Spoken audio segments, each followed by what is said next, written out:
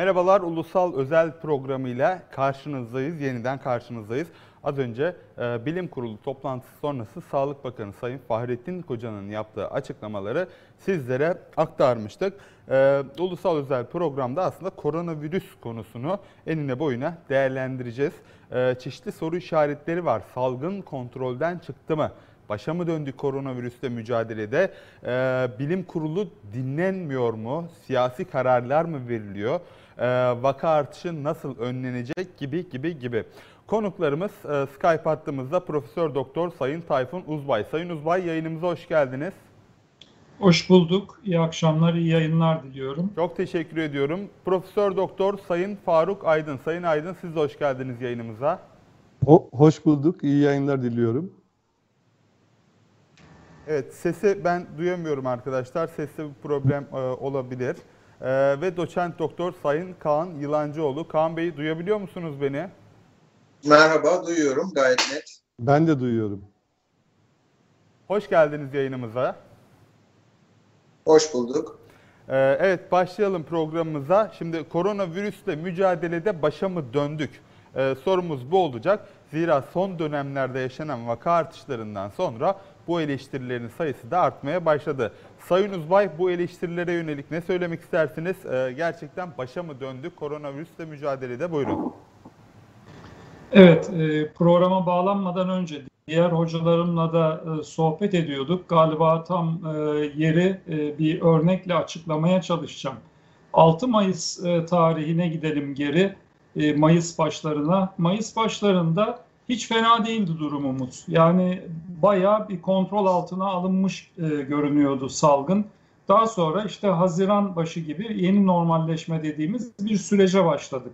O sırada ben e, şöyle bir paylaşımda bulunmuşum sosyal medyadan demişim ki Covid ile mücadelede ilk yarıyı 1-0 ön tamamladık. Hani halkımız e, futbolu çok sever belki öyle anlatmak e, biraz daha çarpıcı olabilir diye düşünüyorum. E, nasıl anlatalım, nasıl anlatalım onu çünkü tartışıyoruz aramızda. Çünkü büyük bir vurdum duymazlık var toplumun geniş bir kesiminde. Bunun çok çeşitli sebepleri de var. E, fakat şunu da eklemişim. Demişim ki ikinci yarı başlıyor. İkinci yarı önden yaz geliyor. E, yaz döneminde biraz daha hafiflemesini bekliyoruz. Hani burada daha çok havanın sıcaklığıyla değildi yaptığımız vurgu. Hava sıcaklığıyla zaten virüsün etkisini azaltmadığını, o sırada yazı yaşayan Güney Yarıküre'deki e, salgının artışından biliyorduk biz. Ama insanların daha çok mekanlarda zaman geçireceklerini, kapalı mekanlarda fazla bulunulmayacağını, yaz döneminde işte okulların falan tatil olmasıyla daha da bu kontrol altına almanın e, daha etkili olacağını, daha başarılı olacağımızı düşünüyorduk. E, ve uyarımı da yapmışım. Eğer dikkat etmezsek e, rakip çok tehlikeli. İkinci yarıyla birlikte e, çok fazla gol yiyebiliriz demiştim. E, az önce hocalarıma da söyledim. Şu anda 1-0 değil maalesef. 2-1 gerideyiz şu anda ve her an üçüncü golü de e, yiyebiliriz yani. Sürekli bizim e, sahamızda oynanıyor oyun. E, ne demek istiyorum? Evet, e, yaz döneminde olmamıza rağmen, okullar henüz açılmamış olmasına rağmen, büyük ölçüde açılmamış olmasına rağmen maalesef biz bu yaz dönemini iyi e, kullanamadık. Halk e, bu tedbirleri Sayın Bakan her akşam konuşuyor. Her akşam aynı şeye vurguda bu ya, vurgu yapıyor. Altını çiziyor. İşte tedbirden bahsediliyor. Maskeden, mesafeden, hijyenden bahsediliyor. Ama e, toplum buna büyük ölçüde itibar etmedi benim gözlemlediğim kadarıyla. Sadece bir 65 yaş üstünü işte bir şeyimiz var, bir kısıtlamamız var, yasağımız var onlarla ilgili. E, diğerleri e, maalesef e, çok da içselleştirmedi. Şimdi e, tabii ki ekonominin e, çarkları dönecek. Bunu çok fazla uzamadan bu şeyi bitirmek istiyorum ilk aldığım sözü. Tabii ki ekonominin e, çarkları dönecek. Ona bir itirazımız yok. Buradaki zorunluluğu, buradaki sıkıntıyı görüyoruz. Belli alanlarda bir şeyler yapılacak, bir, bir takım faaliyetler devam edecek. Çünkü uzun vadeli ekonomik sıkıntılar daha e, e büyük sorunlar yaratmaya e, gebe. E, fakat şunu beklerdik, yani halkın geniş bir kesiminin içselleştirmesini yani bu tedbir meselesini içselleştirmesini en azından şu maske işine ki maske ile ilgili kış döneminde biliyorsunuz bir takım sorunlar yaşandı, bulunamadı. E, eczanelerin önünde maske kuyrukları oluştu. E, bugün maske var, maske ile ilgili sorun yok ama maskeyi doğru düzgün takan da yok. Yani baktığımız zaman maskeler ya çenede, burun dışarıda ya kola takılıyor e, ya e, tamamen maskesiz dolaşılıyor. E, tabii ki bu bir damlacık enfeksiyonu. Maskenin hala Türkiye'de koruyucu mu değil mi diye tartışıldığını görmek son derece üzücü. Maske bal gibi koruyucu. Kesinlikle doğru maskeyi doğru şekilde kullanırsanız koruyucu olacak. E, bunun dışında sağlık sistemi giderek artan vaka sayılarıyla ki yaz dönemi yani yaz dönemi herkesin tatil yapacağı dönem. Sağlık ordusunda fedakar bir şekilde çalışan sağlık profesyonellerinin de yaz tatili yapmaya veya bir miktar kendilerini dinlendirmeye ihtiyacı vardı ama bunu büyük ölçüde yapamadılar. Çünkü vakalar hiç eksik olmadı. Ağır hasta sayısını zaten görüyorsunuz günlük artışlardan. Her gün biraz daha artıyor. Vefat sayıları onlu iki haneli onlu rakamlardaydı. Yani 10 ile 15 arasında dolaşırken işte 40'ları bulduk. 50'lere doğru e, yol almaya başladık. Hasta sayısı her gün konulan tanı sayısı iyileşen sayısının en azından 10 gündür aşağı yukarı hep üzerinde seyrediyor. E, bunlar hayra alamet şeyler değil. Önden de kış geliyor. E, ben şunu anlamakta zorluk çekiyorum. Halkımız bir taraftan eczanelerin kapısını aşındırıyor. İşte illa zatürre aşısı, illa grip aşısı, işte e, listeler yapılmış. Herkes grip aşısını, zatürre aşısını yaptırmak istiyor. Sağlığına bu kadar dikkat ediyor. Fakat aynı kişiler maske kullanma konusunda, mesafeye riayet konusunda, kalabalık yerlerde bulunmama konusunda, düğün, nişan, bayram yapmama konusunda maalesef aynı hassasiyeti göstermiyorlar. Bunu e, çok emin olarak söylüyorum. Çünkü tanıdığım bazı insanlar var, bazı hatta arkadaşlarım var. Beni arıyorlar, soruyorlar. Hocam grip aşısı yok, hocam zatürre aşısı yok. Nereden bulabiliriz? E sizin diyorum zatürre aşısına o kadar ihtiyacınız yok. Gençsiniz yani bu 65 yaş üstü için, kronik hastalığı olanlar için daha çok elzem. Hiç değilse buraya bir yığınak yapmayalım ve onların ihtiyacını e, biz gasp etmeyelim. E, bu kadar hassas olan yani risk grubunda olmamasına rağmen zatürre aşısını yaptırmak için fellik fellik bu aşıyı arayan insanlar öbür taraftan maske takmaya gelince bir düğüne bayrama gidip gitmemeye gelince maalesef aynı hassasiyeti göstermiyorlar. Burada bir toplumsal sorun var. Bunu sosyologla mı tartışırız? Bunu başka toplum bilimcilerin katılımıyla mı tartışırız? Nasıl yaparız bilmiyorum. Ama benim son olarak ekleyeceğim şey şu, halkımızın ilaç veya e, sağlık okurlarlığı çok düşük. Ne demek istiyorum? İlaç ve sağlık konusundaki bilgilerimiz çok sınırlı ve yetersiz. Daha kötüsü kendimizi bu alanda çok bilgili zannediyoruz. İlaç prospektüsü okuyan herkes bir farmakologdan çok daha fazla ilaç bilgisine sahip hemen yargılayabiliyor. Veya e, ne bileyim işte Google'da bir şeylere bakan birileri bir mikrobiyologdan, bir intaniyeciden çok daha fazla bilgiye sahip olduğunu düşünüyor. Ve maalesef yüksek okul mezunları arasında üzücü bir şekilde daha da fazla bu uyumsuzluk. Yani bunun nedenlerini belki konuşmak ve tartışmak lazım. Eğer yaz dönemini doğru değerlendirseydik, herkes kendi kapısının önünü süpürseydi, herkes kendi çapında riayet etseydi e, bu kurallara bu rakamlar inanın bu kadar olmayacaktı. Ben e, bu şekilde tamamlayayım e, ilk turda. Benden sonra tabii ki Faruk Hocam var. Özellikle bunun klinik boyutlarına daha fazla değinecektir diye düşünüyorum. Sayın Aydın, e, başa mı döndük? Siz ne düşünüyorsunuz? Ee, Oğuz Bey merhaba. Ee, benim adıma e, KTO enfeksiyon ana bilim dalı yazılmış. Ee, ben tıbbi mikrobiyoloji, kardeş bölümümüz. Ben tıbbi mikrobiyoloji ana bilim dalı başkanıyım. Adımı düzeltirseniz e, Arkadaşlarımızdan teşekkür rica ederim. edelim. Rejideki arkadaşlarımız hemen gerekli Evet. düzeltmeyi yapsın. Evet, evet. Buyurun. Ee, Tayfun Hocam'ın yaptığı açıklamalara çok teşekkür ediyorum. Ee, ben e, 11 Mart itibariyle Türkiye'de pandemi ilan edildikten sonra ve laboratuvarlara yetki verildikten sonra da Karadeniz bölgesinin ilk laboratuvarını kurdum. Ve o günden itibaren faaliyetimize başladık. Ee, ilk günlerde biliyorsunuz e, laboratuvar sayıları e, yeterli sayıda değildi, daha az sayıdaydı. Dolayısıyla Giresun, Gümüşhane, Trabzon ve hatta Bayburt'u biz çalışıyorduk. Ee, hocamın söylediği gibi e, ilk e, günlerdeki tabii ki bir e, pandemi vardı. Bütün dünya etkisi altındaydı ve biz de bunlardan biriydik.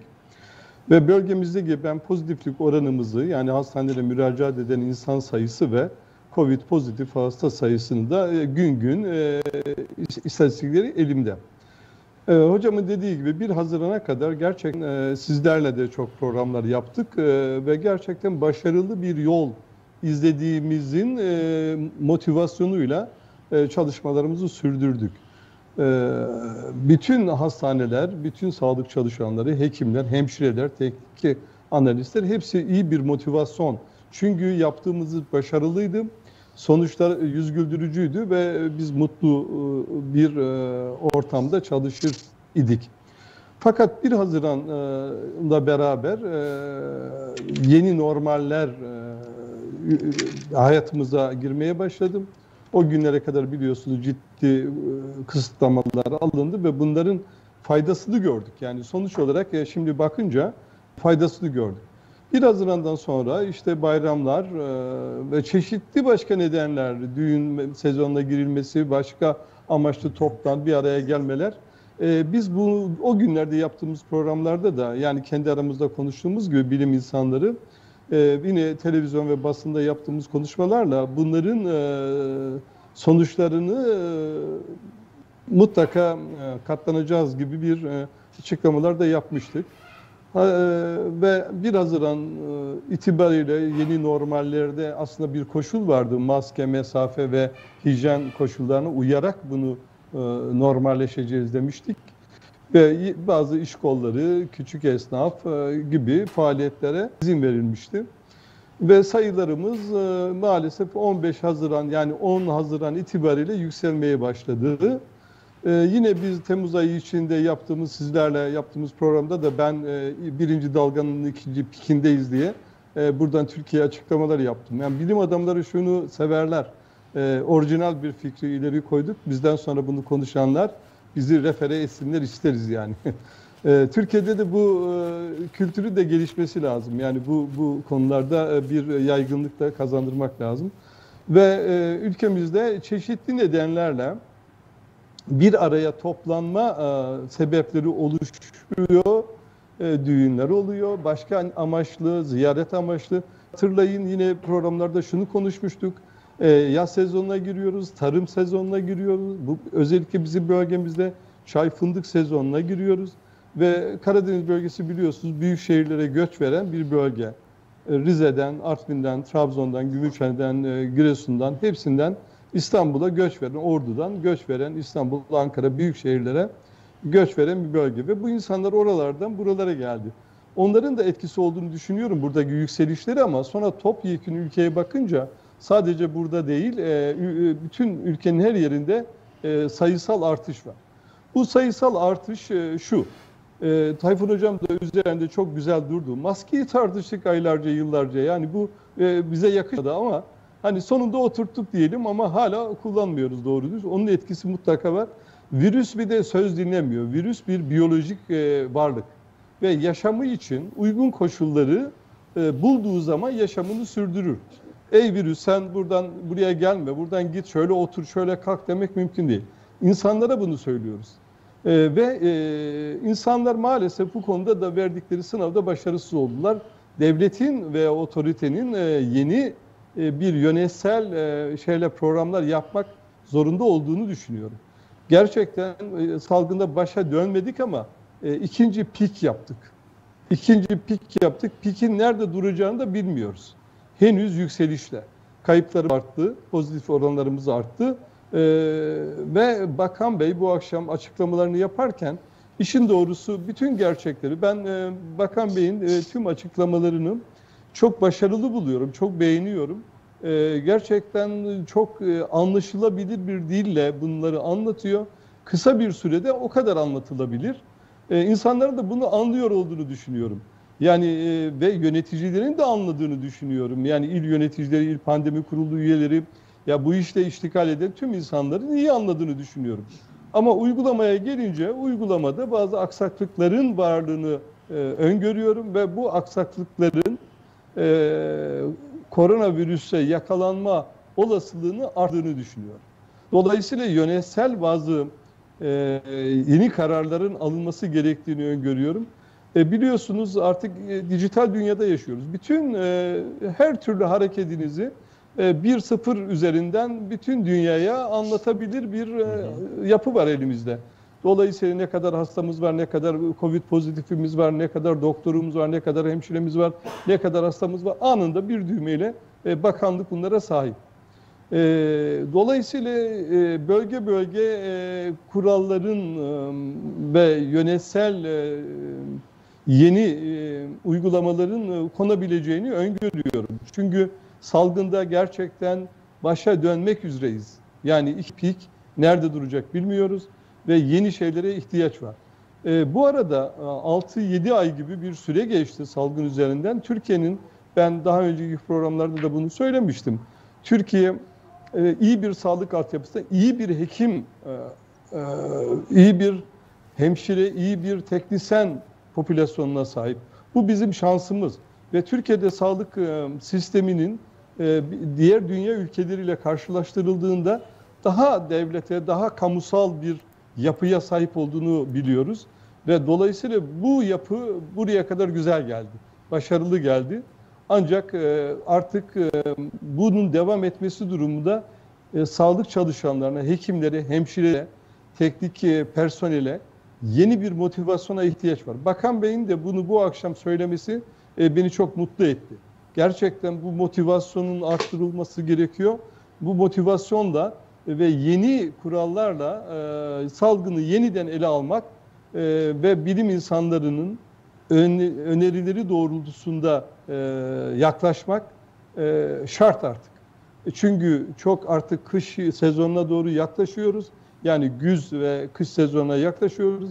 İnsanların daha bir bir arada fazla bulunacağı e, zamanlara giriyoruz. Bakan Bey bunun için çeşitli mesai uygulamalarından bahsetti, esnek mesaiden bahsetti, çalışma düzeninin uzatılmasından bahsetti. İnşallah bunlar yapılır. Okullarımız var, önümüzde ciddi sorunlar var. Yani mevcut rakamlara ve günlük rakamları izlediğimizde trendin yukarıya doğru çıktığını görüyoruz. O nedenle yeniden bir hakimiyet sağlamamız gerektiğini düşünüyorum. Ve bunu kimle yapacağız? Bunu sağlık ordumuzla yapacağız, hekimlerimizle yapacağız, hemşirelerimizle yapacağız ve de vatandaşlarımızla beraber yapacağız. Ben bu süreçten her konuşmamda şunu söylemiştim. Her türlü bilim insanından da yararlanacağız. Çünkü pandemi sadece sağlık konusunda bize e, e, stres yap, yaratmıyor. Her konuda stres yaratıyor. Hocam da söyledi Tayfun Hocam. Sosyologlara da ihtiyaç var. Ekonomide de ihtiyaç var. E, psikologlara ihtiyaç var. Yani her türlü bilimsel metodolojiyi biz burada yaşama sokmak zorundayız. Her türlü bilim insanının kendi alanında verdiği önerileri e, bir araya getirip oradan bir program çıkararak pandemiyle yeniden bir savaşa başlamak zorundayız. Hocamın yine e, çok güzel bir örnekle söylediği futbol e, karşılaşmasıyla örneklemini çok beğendim. Türkiye'de futbol çok seviliyor. Herkes hemen hemen futbol biliyor. Virüs bizi yeniyor. Virüs galip. Hocam söyledi 2-1 galip hocam dedi. Bir golleri saymadım ama kaç olduğunu bilmiyorum ama e, galip durumda. Virüs laf dinlemiyor, insanlar laf dinler. E, yönetimler e, buradan sorumluluk e, alacaklar. E, bizi bir araya getirecekler. Yeniden savaşmanın, yeniden e, bir motive e, sağlık çalışanı yaratmanın yollarını ara, aramalıyız. Ee, basının da burada çok önemli katkıları var. İşte bu akşam yaptığınız programla da bu konuda e, ciddi bir hizmet veriyorsunuz. Ben e, bu hizmetten dolayı da teşekkür ederim. E, bu tur için e, konuştuklarım yeterli sanıyorum. E, sonraki turlarda başka şeylerden de bahsederiz. Çok teşekkür ediyorum. Ben teşekkür ediyorum. Tekrar elbette söz hakkı vereceğiz. Sa- Sayın Yılancıoğlu bir de neden sorusu var elbette. Ee, Sayın Bakan neden sorusunun yanıtlarını işte çarşıda, pazarda, tatil beldelerinde maalesef gördük. İşte vaka artışlarının nedenini özensizliğe, dikkatsizliğe bağlıyor. Ee, ben şu açıdan sormak istiyorum. Ee, tamam neden vaka artışları devam ediyor? Ee, vatandaş mı kabahatli salt yoksa bilinç oluşturma noktasında da e, bir eksiklik mi yaşandı acaba? Şimdi teşekkür ediyorum. Ee, zor yerden sordunuz yalnız bana. Ee, soru zor yerden geldi. Ee, şimdi ikisi de var. Bakın e, ben biraz farklı şeyler söyleyeyim. Hocalarım çok güzel yerlerden e, örneklerle güzel şeyler anlattılar. E, biraz farklı bir bakış açısıyla e, katılmaya çalışayım duruma. E, şimdi bazı ülkeler var önümüzde. Bakın salgınla mücadele dediğiniz zaman şimdi haşa ben epidemiyolog falan değilim. Salgınla mücadele etmedim. Halk sağlığı uzmanı öyle bir uzmanlığım da yok. Fakat takip ettiğimiz kadarıyla gelişmiş ülkelerin özellikle Japonya örneği var önümüzde. Japonya ekonomik olarak yine darboğaza girmemek için herhangi bir şekilde kapatmaya gitmedi. İnanın metroları dahi çalışıyor ve metrolarındaki bulaş, bulaşma oranını sürekli inceliyorlar, sürekli araştırıyorlar. Metrolarda mesela bulaşın artmadığını gördüler. Fakat neden artmıyor? Bunu araştırdılar. Araştırmanın sonucunda ortaya şu çıkıyor. Toplum metroya bindiği zaman maskesini koluna takmıyor, ağzının altına takmıyor, çenesinde tutmuyor, burnunu ağzını kapatacak şekilde düzgün bir şekilde takıyor bir. İki, seyahat ettiği süre boyunca kimseyle konuşmuyor. Yan yana bile otursa kimseyle konuşmuyor. Şimdi bakın bu toplumsal bir bilinçtir. İyi veya kötü. Sosyal dersiniz, soğuk ırk dersiniz, soğuk ülke dersi, işte biz sıcak kanlıyız dersiniz. Şimdi bu bir disiplindir. Toplumun böyle bir disiplini var. Şimdi bizim toplumumuzun disiplini maalesef e, burada herkes buna katılacak. Kimse adına konuşmayayım da ve kendi adıma söyleyeyim. Toplumumuz maalesef disiplinsiz bir toplum. Bunu hepimiz biliyoruz. Zaten bunun problemini de sürekli her aşamada ve her yerde bunu zaten sürekli yaşıyoruz. Şimdi bu disiplinsizlik içerisinde e, toplumun suçu var mıydı? Elbette var. Ama bu rehavet nereden ortaya çıktı? Ya bunu da konuşmak lazım. Şimdi toplumunda büyük bir rehaveti var. Şimdi herkes kendinden uzakta olduğu için, daha doğrusu kendinden uzakta zannettiği için, işte yakını hastalanmadığı için, kendisi hastalanmadığı için, yakınında kimse ölmediği için veyahut da yakınındaki insanlara koronavirüs bulaştığında hafif veyahut da asemptomatik atlattığı için toplum zannediyor ki efendim yani bir problem yok. Bulaşsa da zaten ölmüyoruz. Ee, ölenler zaten benden değil. Dolayısıyla problem yaşamıyorum. Yani kim ölürse de ölsün noktasına geliyor maalesef. Bakın bu toplumsal e, rehavet ve toplumsal disiplinsizlik bu noktaya da getiriyor. Başkasını düşünmek gibi bir kavram zaten oluşmamış. Yani yanımdaki insanın ölmesi bir akrabamın ölmesi kadar kötüdür bilinci oturamamış. Şimdi sağlıkçıya bakıyor, ter içinde kalmış, üstü başı ıslak, yerlere eğilmiş, yorgunluktan ağlamaklı, hastası arkada entübe, bip bip sesleri içinde bütün gece yaşıyor. Fakat toplum bunu gördüğü zaman yani görevi canım ne olacak diyor. Daha kötüsü bakın okullarla ilgili belki konuşacağız. Açılmalı mı, açılmamalı mı, yüz yüze mi olmalı, ne olmalı bunların hepsini konuşacağız. Ee, biz işte kendi Twitter e, sayfamızda, kendi sosyal mecralarımızda da görüyoruz. Efendim toplumun bazı kesimleri öğretmenleri de oh yatarak kazanmaya alıştınız yatın. Bakın okulların yüz yüze olmaması durumuna hani e, çünkü bunu da görüyoruz diyorum yani gelişmiş ülkelere bakarsanız sizden önce bir takım kararlar almış ülkeleri izlerseniz zaten ne olacağı belli. Okulların açıldığı ülkelerdeki patlamaları, okulların açıldaki Güney Kore'si var, bunun Amerika'sı var, bir sürü ülkede okullar açıldı. Görüyoruz vaka sayılarının nasıl yükseldiğini. E şimdi bunu söylediğiniz zaman o ne güzel yatıyorsunuz diyor. Şimdi öğretmene bir şekilde buradan e, bir e, şeyde bulunuyor. tacizde bulunuyor. Şimdi bu noktaya nasıl geldik biz? Yani bu toplumumuz bu noktaya nasıl geldi? Bir kere bunu bir tartışmak lazım. Yani hepimizin aynayı bir karşısına koyması, külahını bir önüne koyması lazım. Biz bir pandemiyle savaşıyoruz, biz bir salgınla savaşıyoruz. Fakat insanlar maalesef daha bunun bilincinde değil. Yani bunun bir salgın olduğunu, insanların öldüğünü, bir takım insanların hastalandığını, nefes alamadığını, hastanelerde sıraların, kuyrukların oluştuğunu ve hastalanan bazı insanların da sekel bıraktığını, sekel kaldığından farkında olmadık, olamadık. Bunun da işte en büyük e, problemi, en büyük nedeni tabii ki bu rehavet. Yani e, şimdi burada da tabii ki yöneticilere rol düşüyor. Yani işler yolunda gidiyor olabilir, evet. Ama siz bunu e, topluma işler gayet yolunda gidiyor, siz düğününüzü yapmaya devam edin şeklinde yansıtırsak e, o zaman adam düğününden geri kalmayacak ki. Nişanından geri kalmayacak ki. Asker uğurlamasından geri kalmayacak ki. Toplumun bu durumun farkında olması gerekiyor. Yani burada bir savaş veriyoruz. Sağlıkçısıyla, bilim insanıyla e, tüm aşamalarda bir savaş veriliyor. Yani bu savaşın toplumun e, bilinçli bir şekilde bunu farkında olması gerekiyor. Farkında olması için de ona bu savaşın gösterilmesi gerekiyor. Yani e, sizin sorunuzun cevabı evet iki tarafta da maalesef bir takım eksiklikler var. Doğru olan şeyler yok mu?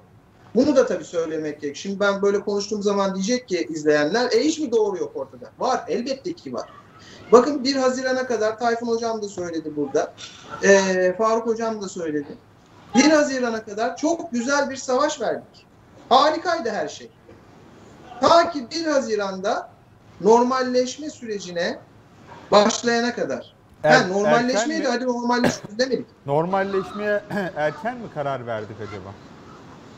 Ya şimdi normalleşmenin erken olup olmadığını tabii ki e, ben buradan yorumlarsam eksik bazı şeyler söylemiş olabilirim. Çünkü dediği gibi Faruk hocamın da söylediği gibi, Tayfun hocamın da söylediği gibi bir takım ekonomik şeyler, bir takım yönetsel durumlar, bir takım başka e, şeyler de var. Bu e, tabii ki e, bunları da düşünmek gerekiyor. Her şey toplumun sağlığının yanında bir takım toplumun bazı maddi e, şeylerin de sağlanması, e, ihtiyaçların da sağlanması, karşılanması lazım. Bu konuda erken veyahut da geç diyemem. Fakat topluma açılmayla birlikte şu çok iyi anlatılmalıydı. Bakın bir salgınla savaş salgınla savaşıyoruz. Ciddi bir salgın ve bu salgında maske, mesafe, hijyen çok önemli. Bu bir kere sürekli topluma aşılanmalı ki aşılamaya da çalıştılar. Faruk Hocam da söyledi. Bakanımız da bunu yapmaya çalıştı. Tweetleriyle olsun, e, işte kamu spotlarıyla olsun bu topluma aşılanmaya ama maalesef biz yaşamadan anlayamayan bir e, şeyimiz, yapımız var. İlla yaşamamız gerekiyor ki o durumun ciddiyetini fark edelim. E, izleyerek ve e, uyarıyla maalesef bu şeyin e, bilincini algılayamıyoruz, alamıyoruz bu bilinci maalesef. E, sürekli yapılmaya çalıştı ama e, yapılamadı. Bu noktada da işte ne yapılmalıydı? Bu noktada merkezi tedbirler sıkılaştırılmalıydı. Bana, bana kalırsa. Ne olmalıydı? Düğünler. Ya düğünlerin ertelenmesi mümkündü. Yani düğünlerin kapalı ortamlarda, salonlarda yapılmasına izin verilmeyebilirdi. Yani bu kadar e, katastrofik olacağını düşünmüyorum ben. Yani ekonomik olarak yani düğünlerin bu şekilde e, olmasını. Açık alanda yapılması sağlanabilirdi zabıtayla. Daha kontrollü e, şey yapılabilirdi. Ne bileyim yani birçok şey yapılabilir. Şimdi oturup da yani bir pandemi kurulu gibi e, şu yapılmalıydı, bu yapılmalıydı ama gördüğümüz kadarıyla maalesef insanlar gayet normal bir şekilde daha geçen gün Kadıköy'ün oradan geçerken her zamanki gibi bir manzara yine insanlar toplu bir şekilde kuyruklar oluşmuş insanlar içeride e, bir şekilde e, üst üsteler tabiri caizse. Birbirlerine yakınlar ne mesafe var ne maske var. E, ileride e, şeyler bekliyor çocuklar bekliyor araçların önünü kesmek için. Yani e, hiçbir şey yokmuş gibi yani hepimiz bunun farkındayız yani sokakta herkes hiçbir şey yokmuş gibi yaşıyor yani hiçbir şey yokmuş gibi yaşayarak bu salgınla mücadele edilemez. Bununla ne yönetici mücadele edebilir ne hekim mücadele edebilir, ne teknisyen mücadele, ne hemşire mücadele edebilir. Yani bunu içselleştirmediğimiz sürece, toplum bunu içselleştirmediği sürece bu mücadele söz konusu değil. Bu sebeple e, ben e, tedbirlerin merkezi bir şekilde sıkı e, uygulanabilir bir şekilde alınması taraftarı olan bir insanım. Maalesef insanlara e, işte rica ve minnetle e, bu işi yaptıramadığımız ortada. Çok teşekkür ediyorum. Sayın Uzbay yeniden size dönmek istiyorum. Önlemler, tedbirler, salgın toplamına bakarsak e, salgın kontrolden mi çıktı? Evet, şimdi önce e, Kaan Hoca'nın e, Kaan Hoca konuşurken siz araya önemli bir soru sordunuz aslında. Ona e, da bir açıklık getirerek ben e, başlamak istiyorum. Siz dediniz ki e, normalleşmeye erken mi başladık acaba? Yani biraz daha mı geciktirmeliydik? E, hayır, bence e, erken değildi. Yani bir yerinden e, biz e, bu tamamen kapalı sistemi bir miktar açmak zorundaydık. Çünkü e, sürekli olarak evde izole olarak kalmanın, e, geniş e, kesimlerini toplumun işte evde tutmanın e, veya e, ekonomik olarak da çarkları hiçbir şekilde döndürmemenin uzun vadeli başka problemleri de olacaktı. Çünkü insanlar bu 2-3 aylık süreçte dahi hem psikolojik olarak yıprandılar, evlerde e, ciddi sıkıntılar ortaya çıktı ve bir yerden başlayacaktık ve bunun Sayın için de Uzbay, e, ya- şey- e, çok araya gireyim o zaman. Şu amaçla Evet. sormuştum. E, hazır siz konuya değinmişken belki e, açıklamanıza katkı olur. E, 3-4 aylık bir süreç yaşadık. Hepimizin evlerde kaldığı, e, sosyal aktivitelerde, dışarıyla fiziki temasta bulunamadığı bir süreç yaşadık. Ve e, psikolojik olarak da çok yıprattı, bunalttı. Yani soda şişesinin kapağını bir anda açarsanız patlama sesi duyuyorsunuz malum. Ee, o anlamda yani birdenbire olması e, hata olabilir mi şeklinde aslında bir soruydu. Buyurun. Yani şöyle aslında birdenbire de olmadı. Yani bunu artık e, toplum televizyonları izliyor. Bakın e, televizyonlar korona sürecinde yani özellikle kış dönemini yaşadığımız bu yeni normale kadar olan süreçte ana akım medya dahil, irili ufaklı diğer bütün kanallar dahil her akşam program yapıldı ve çok az miktarda e, bir takım sorunlu programlar oldu. Genellikle programların yüzde sekseni, bütün kanallar için söylüyorum, eğiticiydi, öğreticiydi. Nasıl bir yol izlenmesi gerektiğini gayet güzel orada çeşitli kesimlerden uzmanlar çıktılar ve anlattılar. Çok açık seçik anlattılar. Şimdi bir şekilde toplum zaten dışarı çıkmak durumundaydı. Biz bu yeni normalleşmeye bir şekilde girmek durumundaydı. Burada bir sıkıntı yok. Sıkıntı yeni normalleşmeye aynen sizin tabir ettiğiniz gibi böyle çalkalanıp çalkalanıp birdenbire açılan bir e, kola kapağı gibi bir anda insanlar büyük bir özgürlüğe kavuşmuşçasına çılgınca bir şekilde dışarı çıktılar. Yani sıkıntı bu. Kaan e, çok güzel açıkladı. E, Japonya'daki metroda insanlar maskeleri takıyorlar, konuşmuyorlar, mesafeye dikkat ediyorlar. Böyle bir ortamda zaten ulaşma ihtimali çok çok düşük. E, düğün yapılıyor, tamam. Düğünü yaparken kurallar var. E, Oğuz Bey çıkın şeye İstanbul'da herhangi bir yere her restoranın kapısında 14 kural yazıyor. Her billboardda kurallar yazıyor. Sık sık bu kurallarla karşılaşıyorsunuz. Ama bu kurallara çok fazla uyulmuyor. Sorun burada. Biz e, düğünü yapıyoruz. 100 kişi davet etmemiz lazım ve mesafeye uyarak bir tören yapmamız lazım. Bir süre sonra o düğündeki kişi sayısı 300'e çıkıyor. Halay çekilmemesi gerekirken halay çekilmeye başlanıyor ve iç çığırından çıkıyor. Sorun tam olarak da. Yani e, şu anda da diyelim ki yeniden tedbir almaya başladık. İnsanları yeniden evlere kapattık. E, gene bu sefer de işin psikolojik tarafını konuşacağız. İşin e, depresif tarafını konuşacağız. İşin ekonomiyle ilgili sıkıntılarını konuşacağız. Yani bir şekilde bir yolunu bulmamız, toplumu bu virüsle uzlaştırmamız, uzlaştırmamız derken e, işte bu toplumun el sıkışması ve birinci cephede bakın e, bir savaş bu. Ön cephede hekimler ve hemşireler var. Hastayla temas eden, işte hasta bakıcılar ve onlar var. Bunun arkasında gelen cephede başka sağlık çalışanları, hemen onun yanında eczacılar, ilaçların işte temin edildiği yerde çalışan sağlıkçılar, onun arkasında bu kalabalık yerlerde görev yapmakta olanlar e, bulunuyor.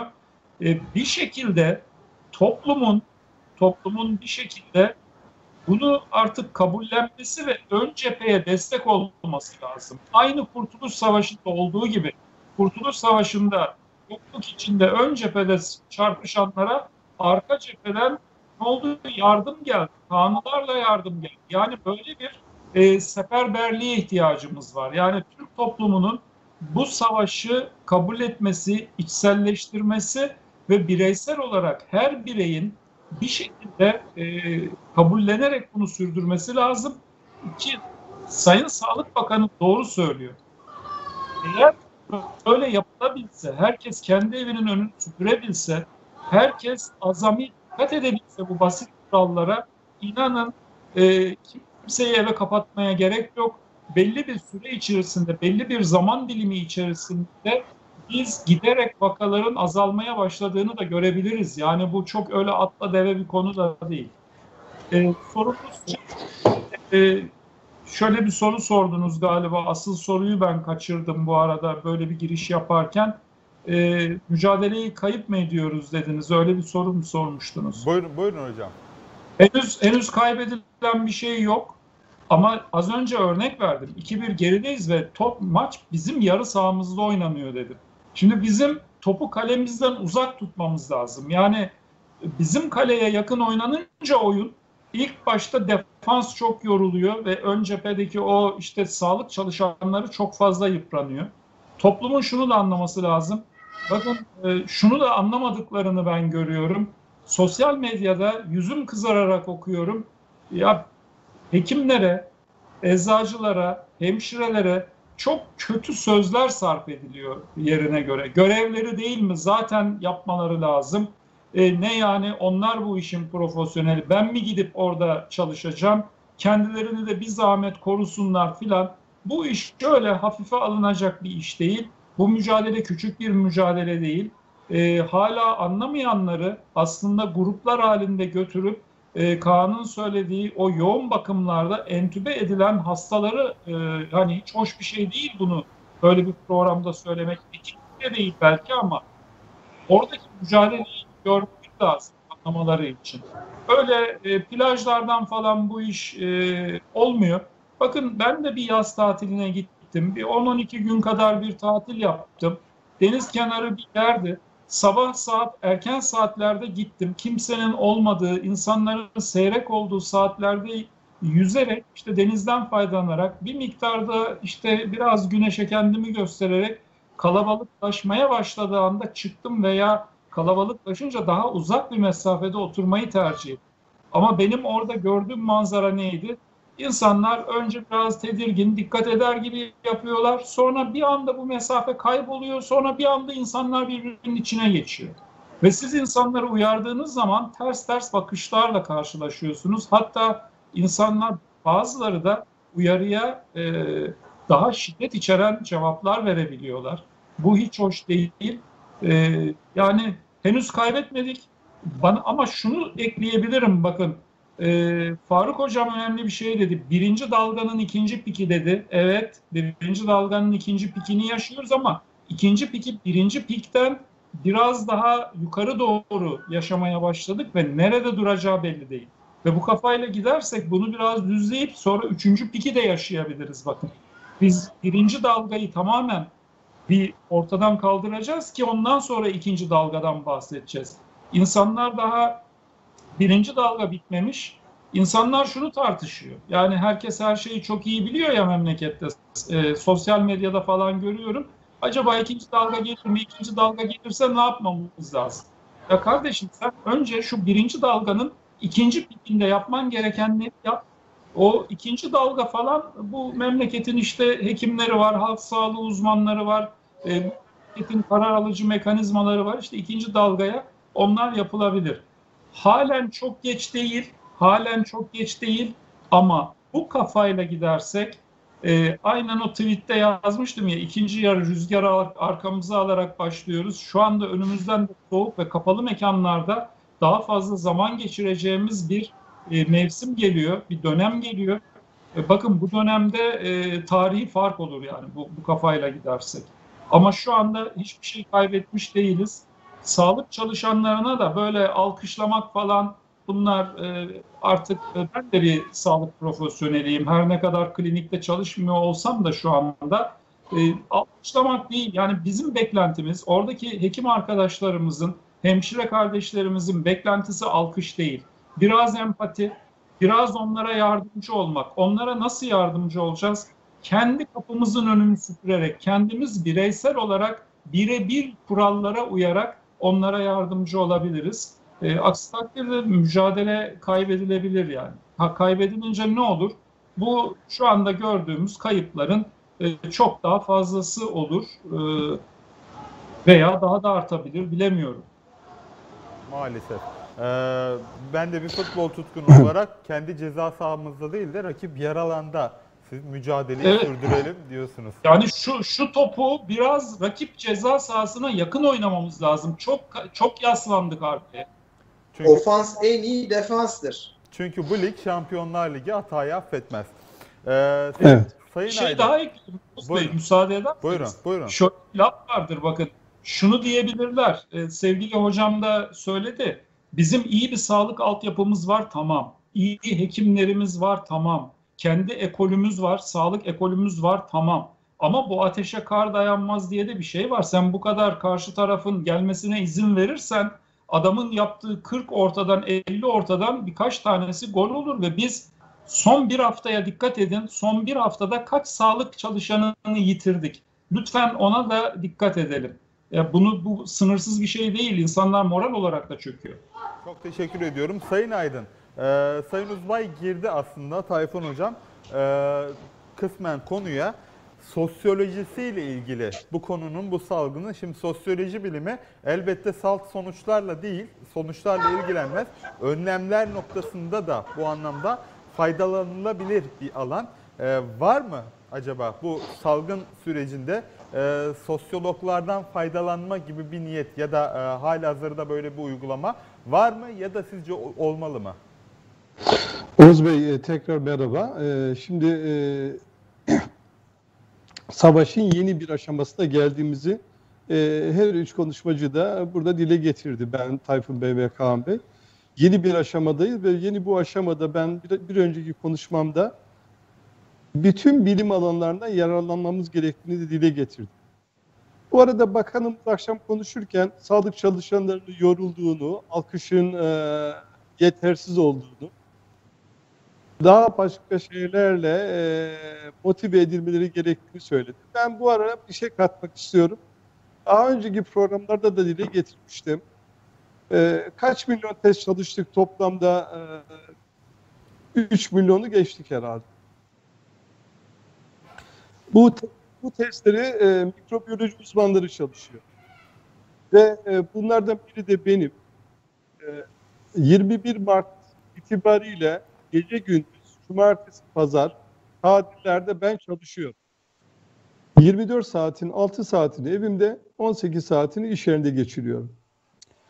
Benim gibi e, Türkiye'deki bütün mikrobiyoloji uz- uzmanları aynı tempoda çalışıyorlar.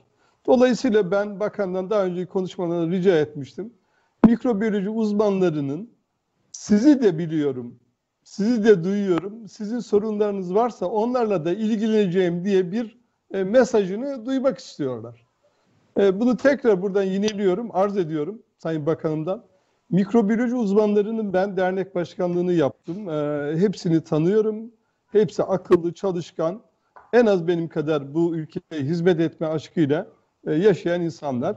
Bakanımızdan bu mikrobiyoloji uzmanlarının anılmasını, dertlerinin dinlenmesini, motivasyonlarını arttırmaya yönelik e, bir çalışmanın yapılacağını, varsa bir haksızlığın e, giderileceğini duymak istiyorum. E, bunu özel olarak söyledim ama bunu işin doğrusu bütün sağlık çalışanları için de istiyorum. E, hemşireden teknisyenine, e, klinisyenine, herkesten, hekimler için de istiyorum. Şimdi e, yeni bir sezona doğru gittiğimizi de söyledim. E, biliyorsunuz şimdi influenza dönemi, e, zatüre dönemi gibi dönemlere doğru giriyoruz. Laboratuvar yükleri de artıyor arkadaşlar bu, bu, bu günlerden sonra. Şimdi normal mikrobiyoloji laboratuvarında hastanenin tüm işlemleri yapılıyor. Burada bir COVID yükü var. Bir de kış nedeniyle bu e, iş daha da artıyor. Dolayısıyla e, aşı sorunları yine önemli bir sorun. Eğer aşılama çalışmalarını doğru yapamaz isek e, bu salgınla başarımızı negatif yönde etkileyebilir bir durumla karşı karşıya kalabiliriz. Yani zatür, Ee, zatürre şö- aşısı. şöyle- Şöyle sorunu.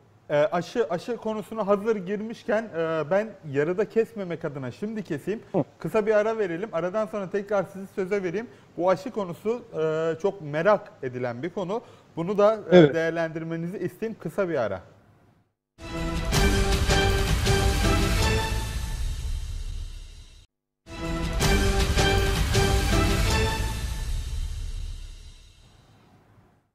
Evet yayınımız ikinci bölümüyle devam ediyor. Sayın Faruk Aydın'ın sözünü kesmiştik. Son olarak aşı çalışmalarına ilişkin bir giriş yapmıştı Sayın Aydın. Buyurun. Ee, Oğuz Bey şimdi e, sezon itibariyle influenza e, yükünün artacağı, e, pneumoninin artacağı bir döneme giriyoruz ve e, bir aşı sezonuna girmiş bulunuyoruz. E, başarılı olamaz isek salgın giderek büyür. Aşılama işlerini de başarılı bir şekilde yapamaz isek kayıplarımızın artacağı öngörüyor. O nedenle 6 ayını tamamlamış çocuklardan itibaren ve risk gruplarına, yani 6 yaşını tamamlayan herkese influenza aşısı, 6 ayını tamamlamış çocuklardan itibaren herkese mümkünse influenza aşısının yapılması gerekiyor. E, pnömoni aşılarının da e, farklı aşılar var. İşte konjüge aşılar var, polipeptit aşılar var. E, aile hekimleri bunu hastaları yönlendirebilir ve uygun aşılama programını alabilir bu aşıların da risk gruplarına yani sinir sistemi sorunu olan, kalp yetmezliği olan, akciğer sorunları olan yani risk gruplarına bu aşıların mutlaka yapılması gerekiyor. Ee, bunun için de devletimizin, Sağlık Bakanımızın hazırlık yaptığını biliyorum. Bakan Bey ile akşam konuşurken aşılar konusunda da e, mümkün e, sayıya ulaşmak için gayret içinde olduklarını söylediler. Aile hekimliği sistemimiz bunları e, ülkemizde var ve her bireyin bir aile hekimi mutlaka var. E, aile hekimleriyle yakın e, ilişkide olup bu aşılarını tamamlatmaları da yarar. Salgını önlemek için de ilk konuşmamda söylediğim gibi e, bu yükün giderek büyüyeceğini, sağlık ordusunun, hekimlerin, hemşirelerin, teknisyenlerin yorulacağını öngörerek buralara ciddi destek verilmesi gerektiğini düşünüyorum. Yani defansa çok büyük indirmemek gerekiyor. Defansın e, biraz nefes alması gerekiyor. E, bu, bu bunları da e, dikkat edilmesi gereken noktalar olarak e, söyledim. E, meslektaşlarım yani mikrobiyolog, mikrobiyoloji uzmanları için de e, bakan tarafını anılmak istiyorlar. Ya kötü bir şey istemiyorlar. O anı inşallah umarım bakanımız bizi duyacaktır ve mikrobiyoloji uzmanlarının sorunları da ilgileneceğini söyleyecektir. E, laboratuvar yükü de artıyor bu arada. Yani o yüzden sadece COVID değil e, mesele.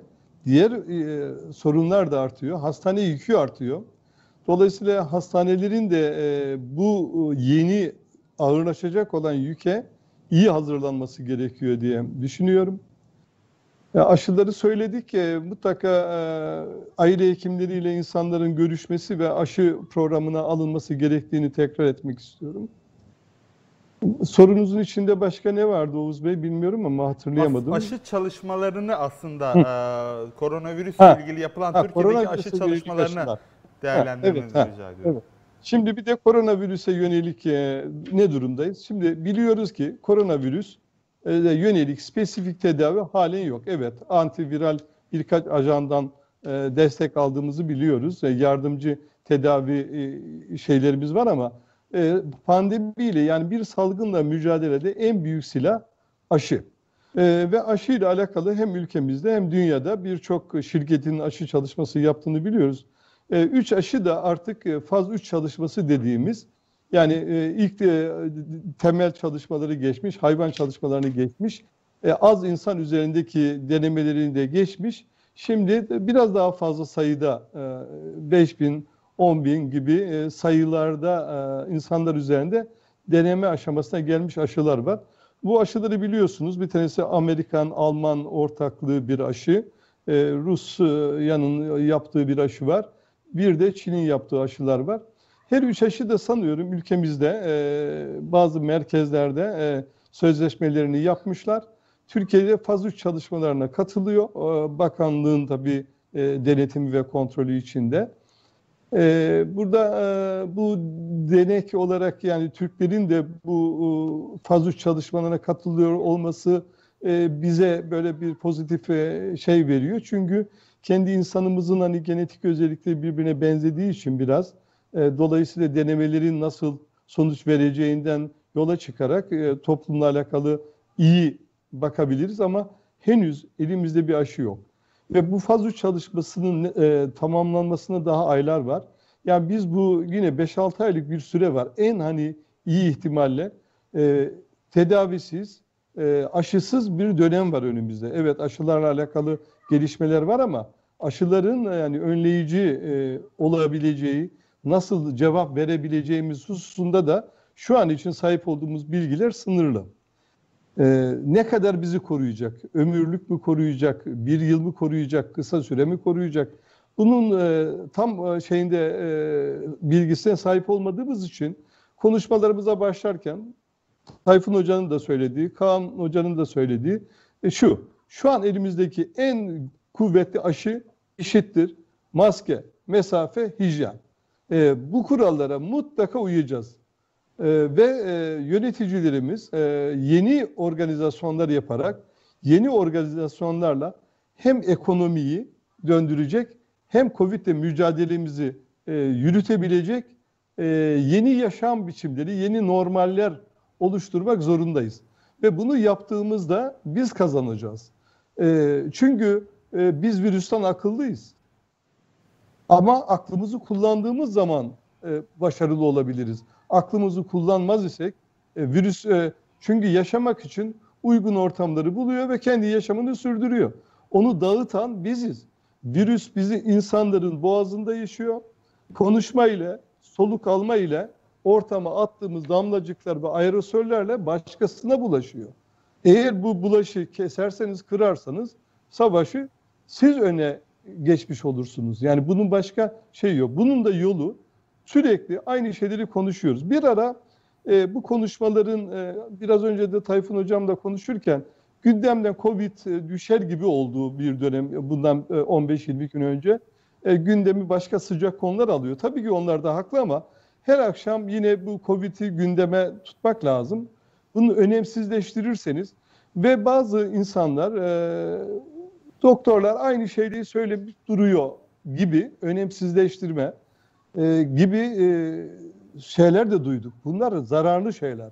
Doktorlar en güçlü silah neyse onu size söylüyorlar ve bunu e, başaramadık ki vazgeçelim söylemekten. Başaralım bize söylemeyelim. Yani salgını yenmiş olalım. E, bir daha maskeden, hijyenden, şuradan buradan bahsetmeyelim. Yenemediğimiz halde e, bunu gündemden düşürmenin doğru olmadığını düşünüyorum. Ve hekimlerimiz bunu söylemeye devam etsinler lütfen. Ve medyada bunlara e, fırsat versin bunların söylenmesine. Vatandaşımız da bunu dinlesin. Ben bir başka şey de söylemiştim. İlk Buyurun. turda da söyledim. Sosyologlardan da, ekonomistlerden de her türlü meslek mensubunun pandemi şöyle bir şey e, sorun. Toplumun A'dan Z'ye her türlü yaşam biçimini, faaliyetlerini engelleyen, onları bozan, onlara zarar veren bir e, salgın. Dolayısıyla herkese yük düşüyor. Herkesin yapabileceği, katkı verebileceği bir alan var. Sosyologlar pekala çok katkı verebilirler. Psikologlar çok pekala yani bütün meslek mensupları bütün meslekleri saymak mümkün değil. siz sosyolog dediğiniz için söylüyorum. Felsefecilerinde, tarihçilerinde yani burada bütün bilim alanlarının üzerine düşen bir yük var ve faydalı olabilecekleri alanlar var. Yapacaklarım, yapacağımız tek şey şu.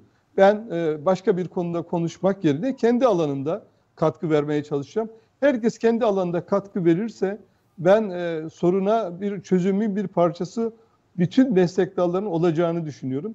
Topluma da şunu bak sosyal medyada benim e, bazı konuşmalarımın altına yani hakikaten hiç anlamamış e, ne olduğunu virüsün ne olduğunu bilememiş insanların e, geri bildirim yazdığını görüyorum ve üzülüyorum. Yapacak başka bir şey yok.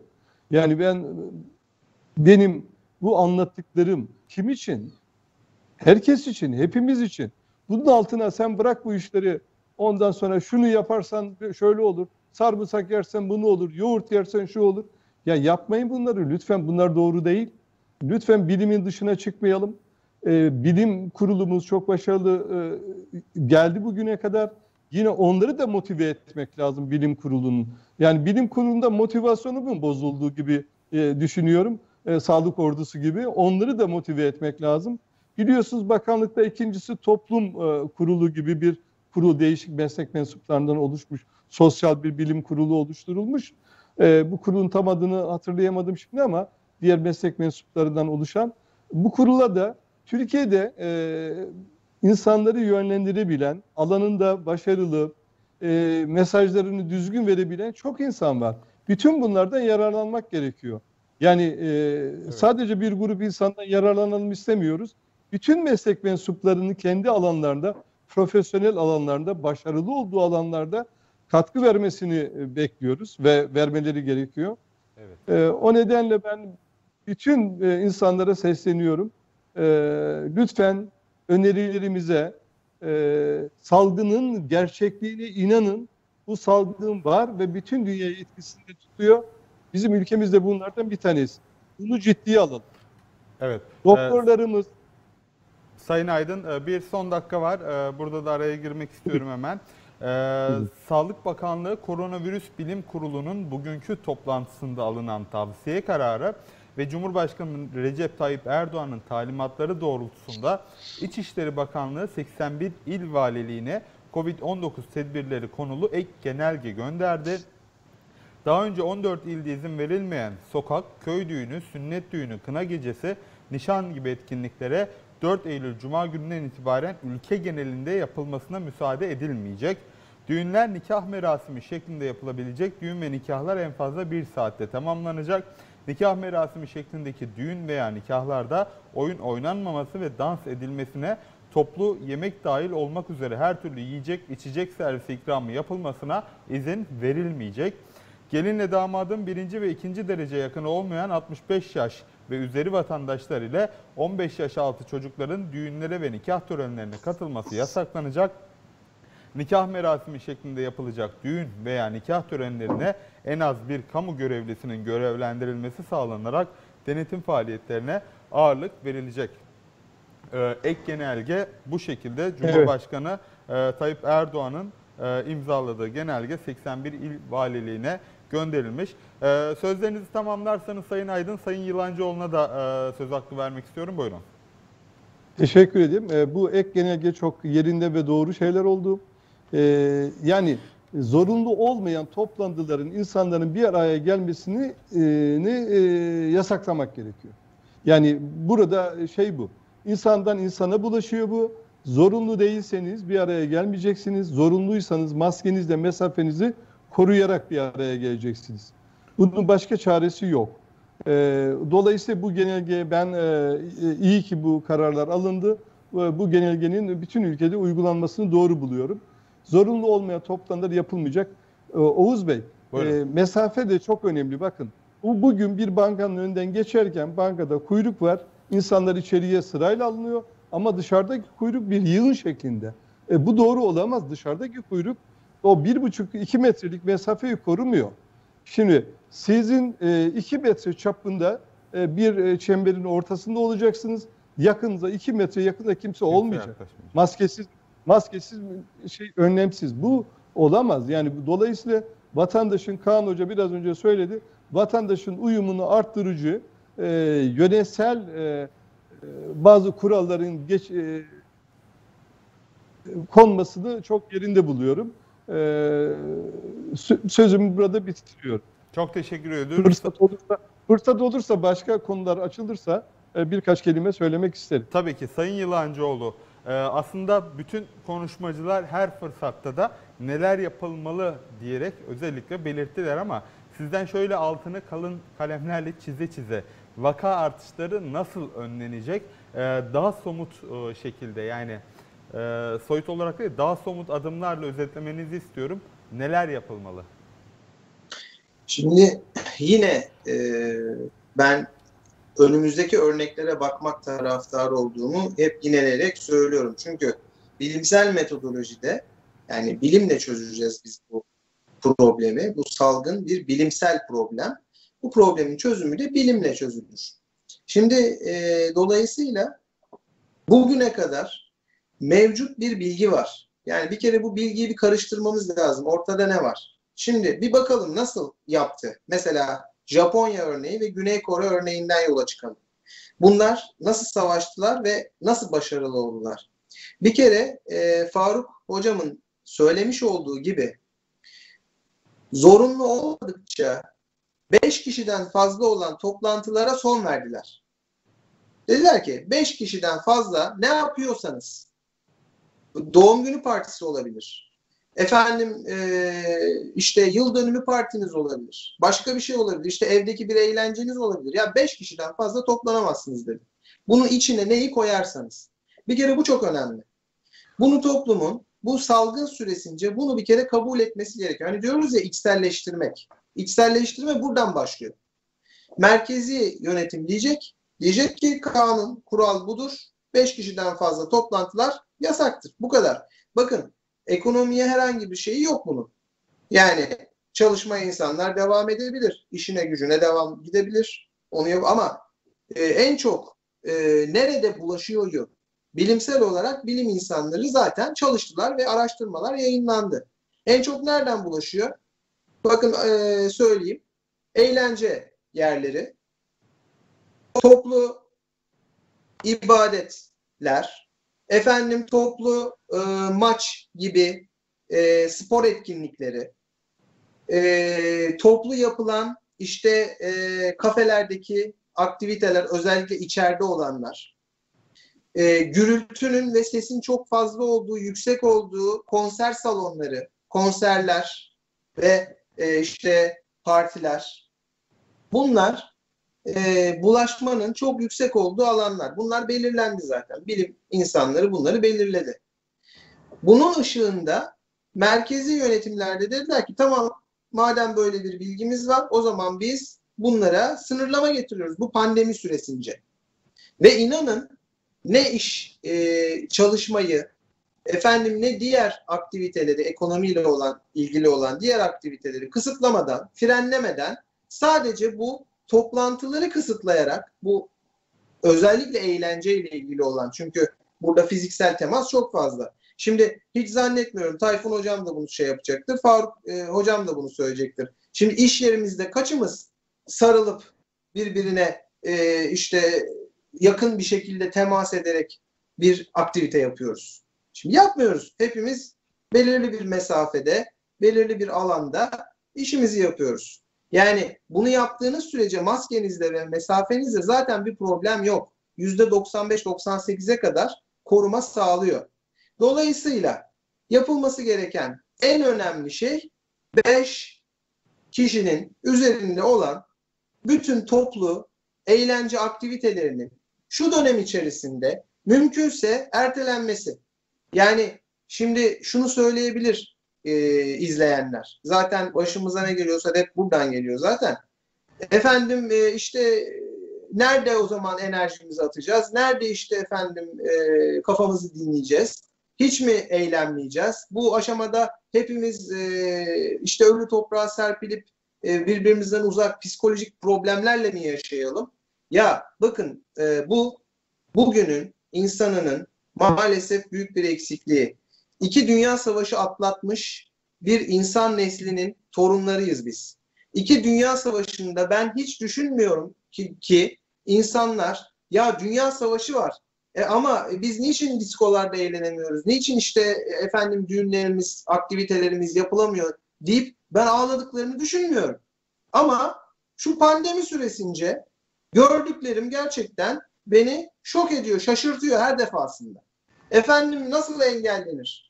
İşte düğünümüz engellenemez. Düğünler işte açık olsun. Bilmem ne engellenemez. Partilerimize karışamazsınız. Ya as, bir asır, her asırda olabilecek bir pandemi yaşıyoruz. Bir salgın yaşıyoruz. Bunun artık bilincine e, ulaşmamız şart. Dolayısıyla merkezi yöne yani sizin sorunuza geliyorum. İnsanların bir kere bunu anlaması gerekiyor. Bunu anlamak için ne olmalı? Faruk Hocam söyledi. Tayfun Hocam da söyledi. Bir kere ana akım medyada bir kere bunun düşmemesi lazım. Geçen gün bir tane editör arkadaşımla konuşuyorum. Hocam biraz gülelim de çok e, gergin oldu. Faruk Hocam beni gergin tanıyacak. Gergin de bir adam değilimdir öyle fazla da. Şimdi e, geçen bir tane editör arkadaşımla konuşuyorum. Bir kanalın editör arkadaşımız. İsmi lazım değil. E, efendim şimdi diyor ki ya hocam pandemi de şeyden düştü. Dedim ki ben ya işte bu araları şey yapmıyorsunuz, çağırmıyorsunuz. Bana dedi ki hocam dedi sizi dedi mendil gibi kullandık attık. Şeyiniz düştü sizin. E, reytinginiz düştü artık. Bundan sonra şeyiniz yok. Ha dedim öyle mi? Geçen hafta geçen hafta tekrar konuşuyoruz. Ya hocam bir program mı yapsak? Ya dedim ne oldu? Hani dedim düşmüştü bizim reytingimiz.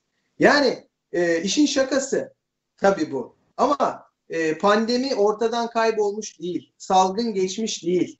Yani şunun bir kere bilincinde olalım. Yani televizyonlarda daha az görüyor olmanız pandeminin bitmiş olduğu anlamına gelmiyor. Hatta ve hatta ilk sorunuza döneceğim. Bana sormadığınız sorudan e, şey vuracağım. E, e, başa mı döndük, döndük dediniz ya. Evet. Baş, başa dönmenin daha gerisine bile dönmüş olabiliriz bakın. Baştan bile daha geri olabiliriz yani. Daha da kötü bir e, pozisyonda dahi olabiliriz. Çünkü ikinci dalgalar, ikinci pikler her zaman birincinin üstüne biner. Birincinin üstüne binmesi daha fazla vaka demektir. Daha e, kontrolü zor e, demektir. Aşı olmadan Faruk Hocam çok güzel söyledi, altını çizdi. Aşı en az 6 ay daha araştırma süresinde, bakın araştırma süresinde daha. 6 ay sonra araştırmalar bitecek. Bunun 2 ayı araştırmaların toplanması ve yayınlanması olsa 8 ay. Ondan sonraki aşamada bizim ülkemizde bunun başlaması nereden baksanız bir 6 ay ile 1 yıl arasında e, zaman bulacak. Yani bir buçuk sene daha neredeyse biz bu salgınla yaşayacağız. Bunun bir kere bilincinde olmamız gerekiyor. Ve bunun bilincinde olmamız için de yetkililerimizin bize bunu söylemesi gerekiyor. Bu yetkililer sizsiniz, işte benim. Bakın buradan söylüyoruz, ifade ediyoruz. Diyoruz ki bir buçuk sene daha bu iş bitmedi, bitmeyecek. Hani ister Kaan Hoca'ya kızsınlar şu anda bizi izleyenler. İster bana televizyondan küfür etsinler, desinler ki ne biçim adam, ne pesimist adam. Bütün moralimizi bozdu. Ama gerçekler bu. Bilim yanılmaz. Gerçeklerden ayrılmadığınız sürece bilim yanılmaz. Bir buçuk sene daha biz bu işin içindeyiz. Dolayısıyla bunu kabul edeceğiz. Bir, iki, beşin üzerinde olan aktivitelerimizi engelleyeceğiz. Yapmayacağız. Bir sene, bir buçuk sene maalesef çocuklarımızın doğum günlerini kutlayamayacağız. Maalesef parklarda, bahçelerde toplu bir şekilde piknikler yapamayacağız. Maalesef e, konserlere gidemeyeceğiz. Maalesef e, belki okullarımızda yüz yüze eğitime başlayamayacağız. Ama bunlara ağlayarak efendim işte neden yapamıyoruz deyip ahlanıp vahlanmak yerine bunları içselleştirip biz bir pandemiyle savaşıyoruz. Bunları zaten yapmamamız gerekiyor. Yu kabul etmemiz gerekiyor ki e, biz bu pandemiyi bitirelim. Yoksa bakın iş ciddi. Bugün gördüğünüz rakamlar insanlar. Bu sayılar insan. Birçok insan ölüyor. Birçok insan hastalanıyor artık makas daraldı. Kime sorsam yanında efendim ya annesi rahatsızlanmış ya eniştesi rahatsızlanmış ya kardeşi rahatsızlanmış. Bu ne demek? Makas daralıyor. Makas size kadar geldi demek. Dolayısıyla aklımızı başımıza alacağız. Ee, ben daha sıkı önlemler bekliyorum. Bu e, genelge e, bakın ne kadar güzel. Ne dedik? Nişanlar dedik, düğünler dedik. Üstüne 14 ilden bütün ülkeye yayıldı. E, bu ve buna benzer birçok önlemi zaten ben bekliyorum. Eylül'ün ilk haftası e, ortasına kadar belki Eylül'ün sonuna kadar bu önlemlerin daha katı olanlarını göreceğimizi düşünüyorum ki görmeliyiz. Bunu da altını çiziyorum. E, toplantıların sınırlanması gerektiğini söylüyorum. Aynı zamanda okullar içinde bir dipnot vermek istiyorum. Okulların yüz yüze eğitim yapması büyük bir risktir. Büyük bir sakıncadır. Bunu da anlamamız gerekiyor. İşte öğretmenler alıştı evde yatsınlar, yattıkları yerden para kazansınlar demek yerine öğrencilerimizi e, birlikte olmaktan, yüz yüze eğitimden bir dönem en azından e, daha bu şekilde yaparak e, kendimizi, ailemizi ve toplumumuzu koruyacağımız bilincinde olmamız gerekiyor. Şimdi insanlar bakın iki tane yanlış anlaşılmayı ben söylemek istiyorum. Çok önemli bu. İnsanlar diyorlar ki çocuklara bir şey olmuyor okulları niye açmıyoruz?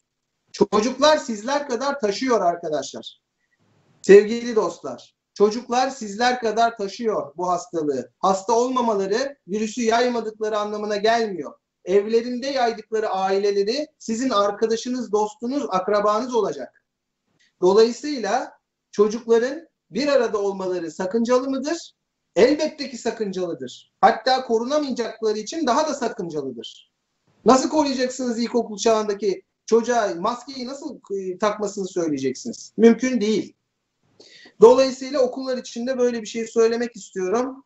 Bu çok önemli e, ve e, aşı olup olmama konusunda da bir şey var. O da çok önemli. Bunu da söylemek gerekiyor. İşte insanlar diyor ki ya bağışıklık oluşmuyorsa niye aşı olacağız? Zinciri kırmak için salgın bir zincirdir. Ben sana, o ona, o ona sürekli bir bulaş söz konusu. Herkes aynı anda aşılanıp bağışıklanırsa bu zincir kırılır. İşte o zaman insanlar istedikleri gibi yaşama kavuşacaklar. O yüzden sabretmeyi ve bilim insanlarını dinlemelerini ben öneriyorum. Çok teşekkür ediyorum. Sayın Uzbay, Tayfun Hocam e, ne yapmalıyız noktasında sizin de görüşlerinizi alalım. Buyurun. Evet, e, e, zaten birçok şey söylendi ama ben e, ne yapmalıyız noktasında e, bazı farklı konulara da e, biraz değinmek istiyorum. Aşıyla başlayalım. E, aşı kesinlikle yani bu işi çözecek olan en etkili yol etkili bir aşı tabii. E, umutlanmalı mıyız? Bence umutlanmalıyız. Çünkü dünyanın e, aşı teknolojisi çok gelişti. Bu RNA e, virüsü, bu virüs, bu tarz virüslere yönelik e, çok fazla e, aşı deneyimleri var, aşı girişimleri var. Ancak bu girişimlerin e, çoğu e, sonuçlanmadı. Mesela bir HIV virüsü var bütün dünyada yaygın. Ama daha çok işte Afrikalılar ölüyor ondan. Ee, Kuzey Avrupa'da belli bir bir pandemi gibi değil ama HIV'nin bulaşma yolu bununla mukayese ettiğiniz zaman çok daha zor bir yol. Yani e, ancak HIV ile ilgili dahi e, başarılı olunan bazı ilaçlar var. Yani 3 ilacı, 3 antiviral ilacı mesela kombine ederek bayağı başarılı oldu e, tıp dünyası. Hani bunları çok fazla konuşmadık mesela. Yani bugün e, çok ünlü bir basketbolcu vardı. İsmini tam olarak e, yanlış söylemeyeyim. E, o HIV pozitif oldu ama tamamen HIV pozitif durumu üçlü bir kombinasyonla e, ortadan kaldırılabildi. Johnson. Evet, e, Kaan Hocam teşekkür ederim. O e, şey yaptı, bana destek oldu sağ olsun. E, şunun, bu örneği şunun için verdim. Yani Kaan Hoca da, Faruk Hoca da altını çizdi. E, bilimle aşacağız bunu. Evet, bir aşı gelecek ve ben e, aşının başarılı olacağını da tahmin ediyorum. Neden? Çünkü bu bir pandemiye neden oldu. Bundan önceki koronavirüslerle ilgili e, aşı çalışmaları belli bir yere kadar geldi, rafa kaldırıldı. Neden? Mesela MERS ve SARS gibi e, şeyler vardı, salgınlar vardı. Bunlar da bu virüse yakın bir aile. Yani aynı ailenin e, farklı üyeleri bunlar da. Bunlar daha öldürücüydü üstelik. Ama bu virüsler kendilerini sınırladılar mesela. Tamamen ortadan kalktılar bir şekilde. Aslında burada bir şeye de dikkat çekmek istiyorum ben. Öldürücülüğü daha yüksekse virüsün kendini sınırlaması ve ayak altından çekilmesi biraz daha kolay oluyor. Şimdi Covid-19'daki temel sorunlardan bir tanesi aslında bu iyi bir şey ama aynı zamanda bizim sorunumuzu oluşturuyor. Bu virüs dünya çapında yüzde dörde yakın bir ölüm oranına sahip. Yani yakalanan her 100 kişiden dördünü öldürüyor. Bu rakam küçük gibi gözüküyor. Zaten vefat sayıları da e, bunu doğruluyor. Ölüm sayıları da e, bunu doğruluyor. Ama bu aynı zamanda virüsün kendini sınırlamasıyla ilgili e, bize çok fazla umut vermiyor. Daha bu uzun bir süre Kaan'ın da söylediği gibi bu virüs bizim hayatımızda kalacak. O zaman bizim aşı ya da ilaç geliştirmemiz gerekiyor buna. E, dünya çapında bildiğim kadarıyla 19 civar 19 aşı şu anda ciddiye alınabilecek ve tedaviye girebilecek durumda. Bunların yaklaşık 10-12 tanesi son faz aşamasına geldi. Türkiye'de de bir aşı insan çalışmalarına geldi ve Türkiye'de 8 farklı üniversitede virüs izole edildi. Bu üniversitelerin çalışmaları vardı. TÜBİTAK ve Bilim Bakanlığı, şimdiki adı değişmiş olabilir ama ben hala Bilim Bakanlığı diyorum bir havuzda topladı bu çalışmaları ve bunları birleştirdi bir platformda. Ve daha da e, bu e, ciddiyet kazandı bu çalışmalar. Bu neden önemli? E, aşıyı bizim üretmemiz de önemli. Yani kendi aşımızı üretmemiz de önemli. Üretebilir miyiz? Üretebiliriz. Biz ta Osmanlı'dan gelen bir aşı e, background'una sahibiz. Hatta Cumhuriyet döneminde de hıfzı sahamız vardı. Gayet güzel aşı üretiyordu. Bir kere e, bizim tekrar gözden geçirmemiz lazım. Bu aşı ithalatı meselesini gözden geçirmemiz lazım. Sadece Covid için değil. Aşılarımızı kendimizin üretmesi, serumlarımızı kendimizin üretmesi son derece önemli. Bir kere ben bunun altını çizmek istiyorum. Devlet büyükleri de veya siyasetçiler de bunu düşünecektir. Bizim hıfzı sahayı daha da modernleştirerek kalkındırmamız ve ayağa kaldırmamız lazım. Gene serum üretimini e, de yapmamız lazım. Çünkü dışa bağımlılık buralarda son derece kritik. Şimdi e, aşıyla ilgili e, umutlarımız var ama bir de şöyle bir durum var. Kış dönemine dönelim. Hatırlayın kış dönemini. Maske sorunu vardı. Maske bulunmuyordu. Bugün insanlara taktıramadığımız maske için insanlar e, ne yapıyorlardı? Bulamadıkları için eczacılarla mesela karşı karşıya gelmişlerdi. Eczacıları şikayet ediyorlardı. Eczanelerin önünde kuyruklar ortaya çıkıyordu. Bir takım problemler yaşandı. Eczacıların işte kara borsa yaptığı iddia iddiasıyla onlara e, cezalar yazıldı. Aslında eczaneleri Sağlık Bakanlığı denetleyebilecekken Ticaret Bakanlığı'nın denetiminden bazı cezalar alındı. Bunlara işte davalar açıldı. Bu davalar kazanıldı. Derken eczacılar çok e, şey, şikayetçi olmaya başladılar. Şundan halkın gözünde bu meslek grubu, bu meslek erbabı kara borsacı, işte dezenfektanı pahalı satan, kolonyayı pahalı satan, maskeyi stoklayan, pahalı satan bir esnaf görüntüsüne büründü. Halbuki böyle bir şey yoktu. Şimdi aşılar için şöyle bir tehlike ufukta, ee, şöyle bir sıkıntımız var. Şu anda piyasada e, tüber, e, e, tüberküloz diyorum e, zatürre aşısı bulunmuyor değil. Piyasada var şöyle var. Sağlık Bakanlığı bütün zatürre aşılarına el koydu ve birinci basamağa dağıttı. E, aile hekimlerinin yetkisinde şu anda. Ve stoklar sınırlı olduğu için şöyle de bir kural getirdiler oraya. 65 yaşın üzerindeyseniz doğrudan kendi sağlık ocağınıza gidip talepte bulunarak bu aşınızı hemen yaptırabilirsiniz. Sağlık ocaklarında mevcut bildiğim kadarıyla. İkincisi eğer kronik bir rahatsızlığınız varsa ve siz o sisteme kayıtlıysanız yani aşı olmanızı gerektirecek kronik bir rahatsızlığınız gene bu aşıyı yaptırabiliyorsunuz. Ama buna rağmen hala eczanelerde bir aşı arayışı var. Eczacıların da e, bir listeleri var. İşte herkesi sırayla yazıyorlar oraya. Bu bir. İkincisi grip aşısı yani bildiğimiz influenza aşısı mevsimi geliyor şimdi. O mevsim geldiğinde de biliyorsunuz kimse de çoğunlukla burun kıvırırdı bunu. Aman canım yani yaptırmasak ne olur işte her sene yenisi yapılıyor. Sanayi buradan para kazanmaya çalışıyor falan gibi spekülasyonlar da oluyordu. Ama bu yıl öyle değil bakın. E, böyle aşı retçilerinin bir anda aşı sevdalısı olduğunu gördük. Yani aşıya şüpheyle bakanlar bir an önce e, ben bu aşıyı da olayım, geri kalmayayım gibi bir düşünceye sahipler. Aslında e, influenza aşısı ya da bildiğimiz grip aşısı sizi Covid'den korumayacak zaten. Bu aşıyı niye yapılsın deniliyor bu aşı?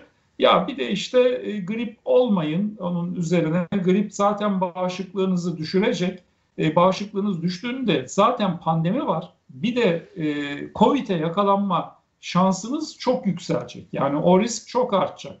Ama öbür taraftan ben şunu söylüyorum. Eğer siz maske, mesafe, hijyen kurallarına uyan biriyseniz zaten size influenza'nın bulaşma ihtimali de çok düşük. Yani e, maske takmadığımız zamanlarda bile toplumun önemli bir kesimi influenza geçirmiyordu. Ama şimdi bakıyoruz eczacıların defterlerinde e, bu influenza'nın da büyük bir şeyi var. Şimdi bir e, umutla herkes bekliyor. Burada bizi izleyenlere e, şöyle bir bilgi vermek istiyorum ben. Doğru bilgiye sahip olalım önce. Neden çok fazla sayıda e, veya yeteri kadar aşı veya e, belli ilaçlar bulunmuyor? Mesela bazen belli ilaçlarda piyasadan kayboluyor. Şimdi hep tartıştık bunu. Aslında bu ayrı bir tartışma konusu. Bu ilacın ekonomi politiği meselesi var. Yani e, hastanın bir müşteri olmasını kabul edemeyiz mesela. Hasta hastadır, hekim de ona hizmet eder. Bu hekimlik mesleği son derece kutsal bir meslektir. Hemşire bu işi aslında para için yapmaz. Hastaya müşteri gözüyle hiçbir zaman bakılmaz. Hasta bir müşteri değildir. Hasta hastadır. Ama siz ilacı da ticari bir ürün olarak ele alırsanız, aşıyı ticari bir ürün olarak ele alırsanız, ama diyeceksiniz ki dünyada serbest piyasa ekonomisi var. Tek kutuplu bir dünyadayız. Kapitalist bir sistem. Tabii ki ilacın geliştirilmesinin bir maliyeti var ve bu maliyetin karşılığında bunu geliştiren firma tabii ki kazanacak. E, tamam da bunun kuralları kravat ya da tekstil ürünü gibi ya da ne bileyim işte bir kitap, gazete gibi veya başka bir, başka bir pazarlanabilir ürün gibi mi olmalı? Şimdi baktığımız zaman ilaçta reklam olsun deniliyor. İlaç çok çeşitli kanallardan daha fazla tüketilsin isteniyor. Bir endikasyona beş, onay almış. 5 dakikamız var. Toparlarsanız tamam. sözü hemen hemen istiyorum. Buyurun. Uyardığınız için teşekkür ederim. O zaman şöyle toparlayayım ben. İlaç ticari bir ürün gibi ele alındığı zaman şöyle bir noktayla karşılaşıyoruz. Eğer endüstri çok para kazanamıyorsa ilaçtan ya da aşıdan bunun e, arzını yani e, insanlara sunum, sunumunu kısıyor, azaltıyor. Ben çok kar etmeyeceğim bir yere çok fazla ürün göndermiyorum. Bizim sıkıntımız nerede? Sağlık Bakanlığı ilaçların geri ödemesini yaparken biz çok şükür hala sosyal devletiz. Bu da iyi bir şey. Yani bu korona tedavisinde de bizi ön plana çıkaran önemli bir unsur.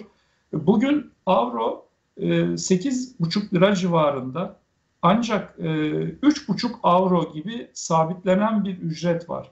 İşte bu sabitleme yüzünden bazı ilaçları, kar edemeyeceği ilaçları kısıyor, vermek istemiyor yani ben önümüzdeki dönemde bir parti gelecek Sağlık Bakanlığı'yla da veya geri ödeme sistemiyle Sağlık Bakanlığı'yla demeyelim de bir pazarlık içinde olduğu duyumunu aldım e, ilaç endüstrisinin. E, biz çok da umutlanmamak lazım. Yani bu influenza aşısı çok yeteri kadar gelmeyebilir.